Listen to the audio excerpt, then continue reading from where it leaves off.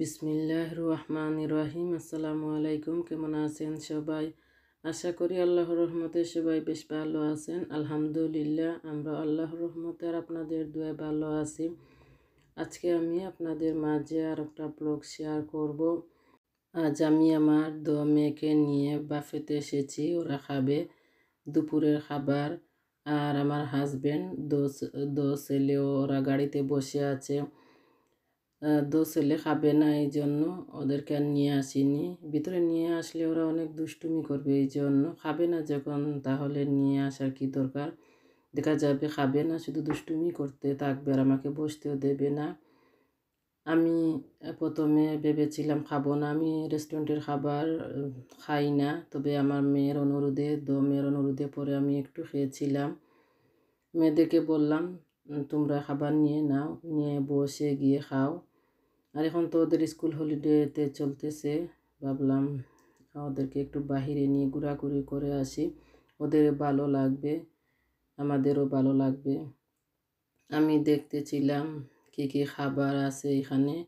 ডাল, মাছ আছে, মিট আছে, চিকেন আছে, মোটামুটি অনেক খাবার আছে।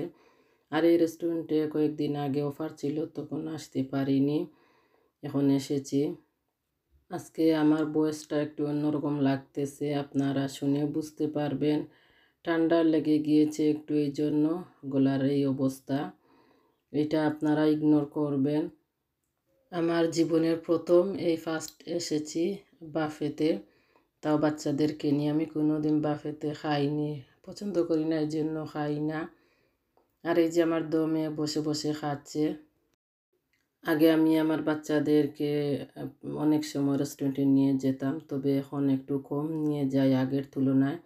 ভাবলাম আমি যখন খাবার খাওয়া এত পছন্দ করি না, তাহলে বাচ্চাদেরকে একটু কম নিয়ে যাই। তাহলে ওদের ঘরের খাবার একটু বেশি ওরা খাবে। ঘরের খাবার তো হেলদি বাহিরের খাবার থেকে। এই জন্য এখন একটু বাচ্চাদেরকে কম নেই আগের তুলনায়। কম নিয়ে যাই। আর এখানে ডেজার্ট আছে, ভর্তা আছে সালাদ এগুলো আর কি আমি টমাটো ভর্তা, আলু ভর্তা দিয়ে একটু ভাত নিয়েছিলাম। টমাটো ভর্তাটা পুরনো ছিল, খেতে পারিনি। আলু ভর্তা ভালো লেগেছিল, আলু ভর্তা দিয়ে একটু ভাত খেয়েছিলাম আর একটু বিরিয়ানি খেয়েছিলাম মিট কারি দিয়ে। এগুলা খেয়েছি আর আমি রেস্টুরেন্টের যে ভিডিও করেছি ওনাদের পারমিশন নিয়ে করেছি। আগে জিজ্ঞেস করেছি, করতে পারব কি না আমি এইভাবে করে তাকে আগে পারমিশন নিয়ে ভিডিও করে। গিয়ে ঢুকে এমনিতে ভিডিও করা শুরু করি না। এইটা আমার কাছে ভালো লাগে না। আমি মনে করি পারমিশন নিয়ে ভিডিও যদি করি তাহলে আমারও ভালো লাগবে। যারা এখন পর্যন্ত আমার সাথে আছেন, আপনাদেরকে অসংখ্য ধন্যবাদ। আমার হাজব্যান্ডের জন্য ঠিকিয়ে নিয়ে নিতেছি এইখানে। ওনাকে জিজ্ঞেস করেছিলাম, আপুকে কি কি নেওয়া যাবে? আপু যেগুলা বলেছে নেওয়া যাবে, এগুলো আমি নিয়ে নিতেছি। উনি দিতেছে বক্সের মধ্যে, আর আমি ওইদিকে ভিডিও করতেছি। আমি বলতেছি যে, কোনটা নেব? উনি দিয়ে দিতেছে। এখন এসেছি, আমার হাজব্যান্ড একজন পেশেন্টকে দেখতে যাবেন রুগীকে। দেখতে গিয়েছেন ভিতরে আমি ওইদিকে নাদিম গাড়িতে বসে একটু কান্নাকাটি করতেছিল ওকে। আমি গাড়ি থেকে নামিয়ে দিয়েছি, একটু হাঁটাহাঁটি করতে। আর অনেক ঠান্ডা। এই যে ওকে বলেছিলাম, তুমি গাড়ির ভিতরে চলে এসো। ওই, এই যে দেখতে পারতেছেন, ও আমার সাথে রাগ করতেছে। ও আসবে না, ও গাড়ির বাহিরে থাকবে, হাঁটাহাঁটি করবে।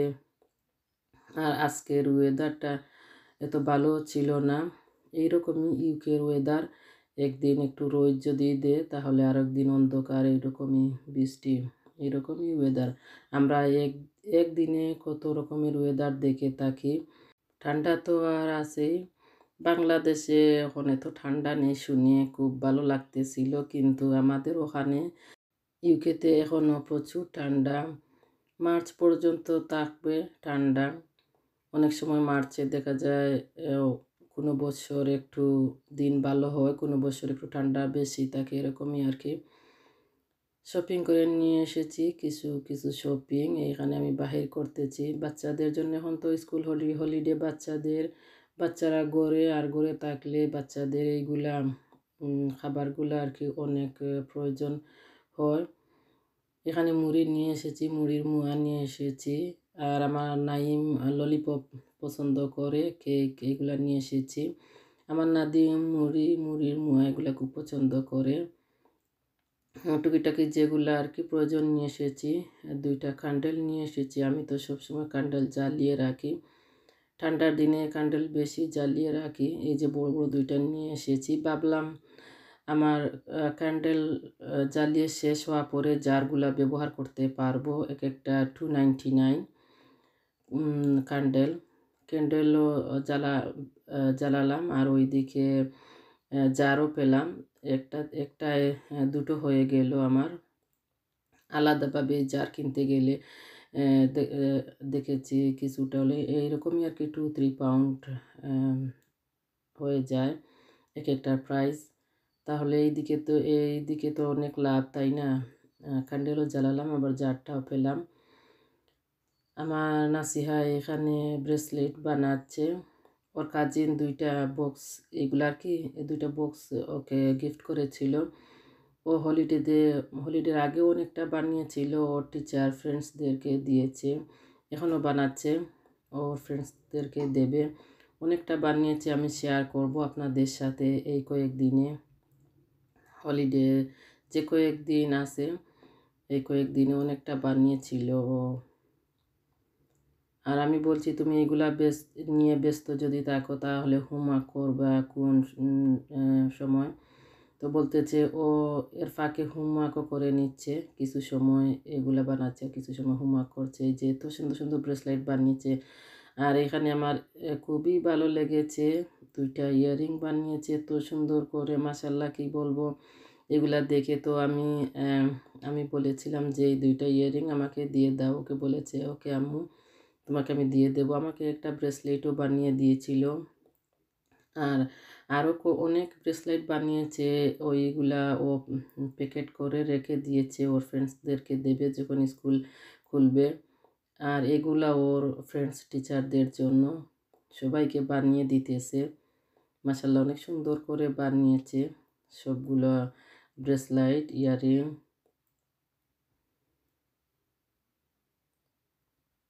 এই দেখেন, এই ইয়ারিংটা আমার কাছে খুব ভালো লেগেছে। তবে দুই কালারে দুইটা করেছে। আর এগুলা নাম দিয়ে করেছে যে ফ্রেন্ডকে দেবে, ওই ফ্রেন্ডের নাম দিয়ে। এই যে আপনারা লেটার দেখতে পারতেছেন এক একজনের নাম এখানে আছে। নাম দিয়ে করেছে, কাকে কোনটা দেবে। নাদিমকে নিয়ে একটু বাহির হয়েছি। ও তো আর গড়েই ঢুকবে না এরকমইও শুধু বাহিরই থাকতে চায়। এত ঠান্ডা, তারপরেও ঘরে ঢুকতে চায় না, সবসময় বাহিরে থাকতে চায়। বাহির থেকে আনতে যদি চাই তাহলে অনেক রাগ করে। আসসালামু আলাইকুম।